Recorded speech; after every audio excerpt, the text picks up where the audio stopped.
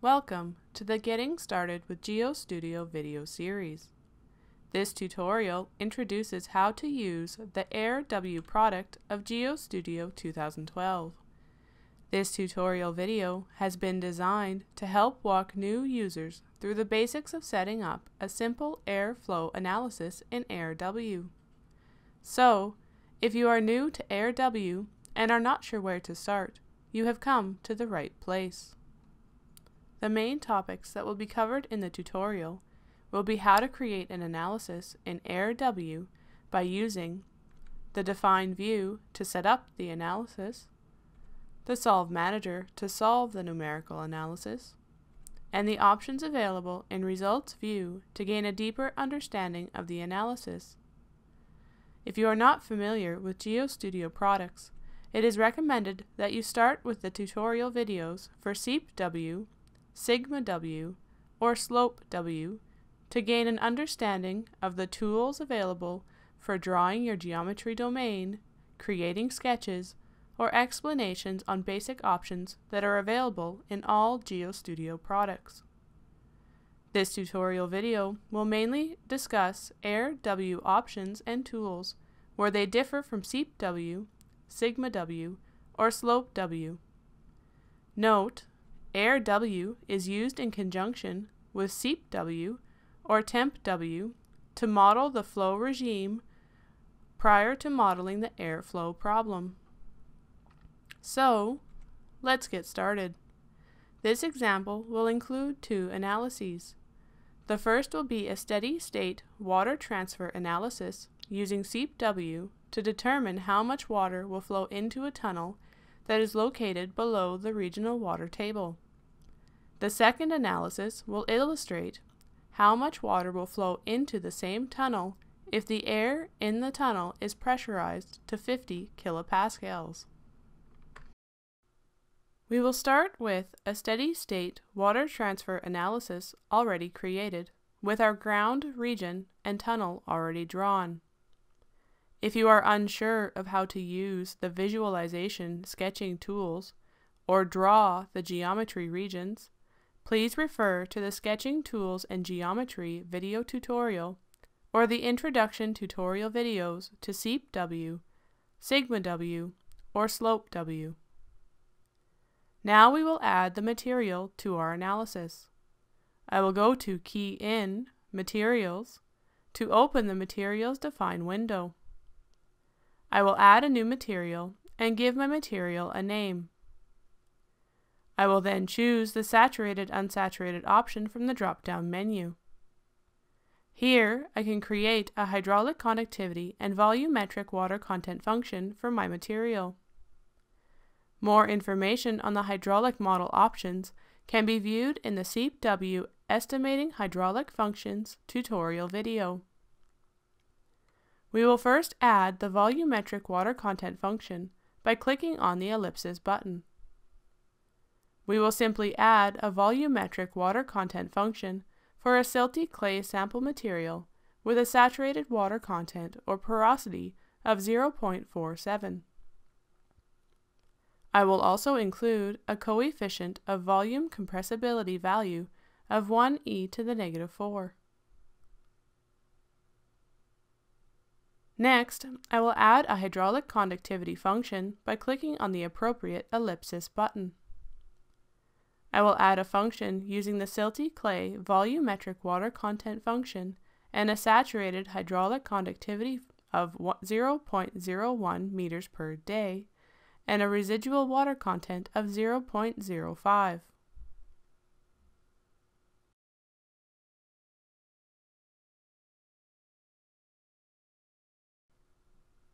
Now we will add the material to our domain by choosing Draw Materials. We will simply choose the silty clay material and assign it to our soil region. We will not apply any material properties to the tunnel as it is considered to be an open circular region. Boundary conditions can be created and assigned in a similar way as the materials. I will choose Key in Boundary Conditions to open the Define Boundary Conditions window. The potential seepage face and zero pressure boundary conditions are created by default. I will also add a new hydraulic boundary condition to represent the regional water table height at the far field boundaries. I will use the total head boundary condition with a constant value of 16 meters.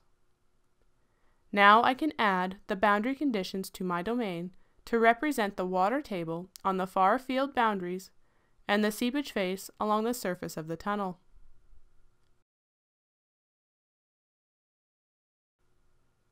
Now we are ready to add our coupled airflow analysis to the analysis tree.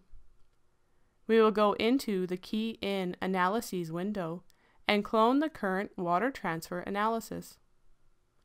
We will simply change the name of our analysis and activate airflow on our domain. The geometry of the domain is considered project specific, but the material properties, boundary conditions, and analysis type can be modified to simulate different scenarios of the analysis. Now we must return to our define window and set up the airflow properties for our analyses.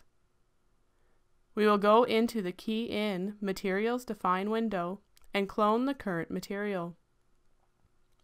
This material will include the same volumetric water content and hydraulic conductivity functions as the water transfer only analysis. But we will now add an air conductivity function to help define the air flow within the domain. We will click on the appropriate ellipsis button and estimate the air function.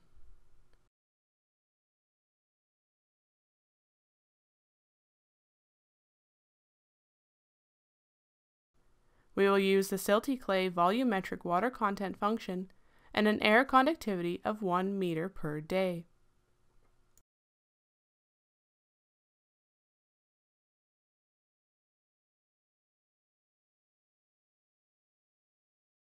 Now we can add this material to the domain for the tunneling with airflow analysis. Now we are ready to define our boundary conditions. We will go to Key In, Boundary Conditions. The default boundary condition of a zero atmospheric pressure is already added to the boundary conditions list.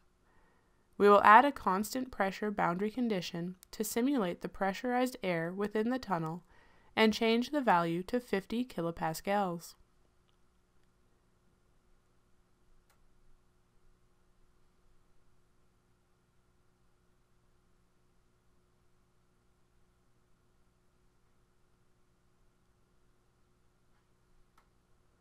We will add the zero atmospheric pressure boundary condition to the surface of the soil domain and the tunnel pressure to the line representing the outer rim of the tunnel. If at any time you wish to only see the airflow boundary conditions on the domain and remove the hydraulic boundary conditions from the visualization, you can change the drop-down menu from All to Air. Note, the hydraulic boundary conditions are still applied to the domain, but are simply not a part of the visualization. Our next step will be to look at the default mesh. We can see that a default global element size is set to 1 meter. We will refine the mesh by changing this value to 1.25 meters. We will also click on the perimeter line of the tunnel and change the element size to be half of the default element length. More information on the meshing options can be found in the engineering books or the Mesh Options and Constraints tutorial video. Now we can solve all of our analyses by clicking on the Start button in the Solve Manager. Once solved, the window will automatically change to the Results view instead of the Define view. By default, the total head contours will appear along with the phreatic surface as a blue dashed line. You can change the contours that are being shown on the domain in the Results window by choosing a different contour type in the drop-down menu. You can also add new contour options by clicking on the Draw Contours button. You can change the shading methods used to draw your contours, add a legend, or change the increments and starting and ending values of your contours. Other items can be added by clicking on the Add button and choosing the type of results contour you would like to create. We will go to our second analysis to view the pore water pressure contours when the air pressure is added to the tunnel.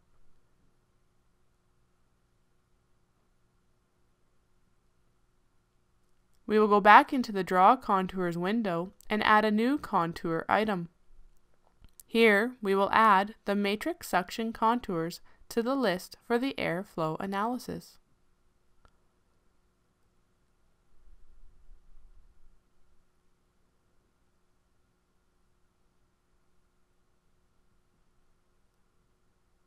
Currently, we can only see the water velocity vectors on the domain. We can go to Draw Velocity Vectors to add the air velocity vectors to the domain as well. You can also add labels to your contours using the Draw Contour Labels button and clicking on the contour lines where you want labels to be painted. You can choose what items are activated in the results window at any time using the View Preferences toolbar along the right side of the screen. Here you can toggle on and off results information such as the velocity vectors, contours, or you can view your mesh, boundary conditions, material properties, or toggle on and off geometry items such as the regions or point numbers. Next, we will create a graph to help us gain a better understanding of our analysis. By default, for all SEEP-W analyses, the conductivity versus matric suction graph shows that the resulting conductivity matches the hydraulic conducti conductivity function that was entered in the Key in Materials Define window. This is one of the checks on convergence. More information on convergence graphs can be found in the engineering books or the SEEP-W Convergence and Under Relaxation tutorial video. We will add a graph that shows the total rate of discharge of water through the walls of the tunnel. We will choose our node locations to be along the perimeter of the tunnel line.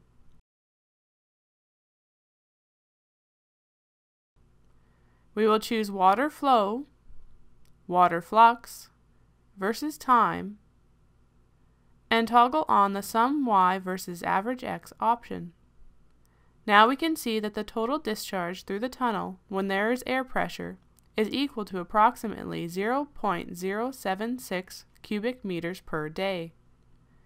Note, the negative sign here indicates that water is leaving the domain. When we change to the first analysis where air pressure was not added to the tunnel, we can see that the discharge increases to 0.144 cubic meters per day. More information on the other options available in the results view can be viewed in the SEEP-W, Sigma-W, or Slope-W tutorial videos. We have now reached the end of this introductory tutorial. Note that not all of the powerful features of AirW 2012 have been used or discussed here. Further information on each command can be found in the online help, supporting documentation for AirW, as well as in other tutorial videos of the Getting Started with GeoStudio video series. Thank you for watching.